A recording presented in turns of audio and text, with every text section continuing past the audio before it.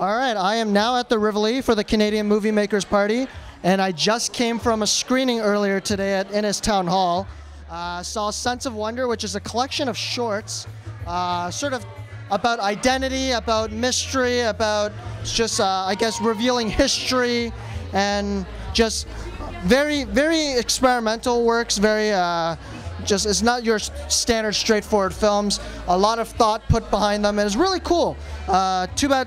I hope everyone got a chance to uh, take a look at them, and even if they haven't, there's still lots of good movies coming out. Lots of good, uh, a great collection coming out for you in the upcoming days, such as White on uh, White, White on Rice.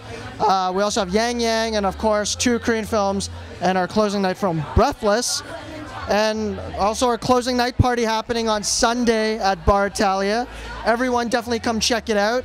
It's been a great week so far and it's looking even better in the upcoming weekend, so everyone definitely come check it out.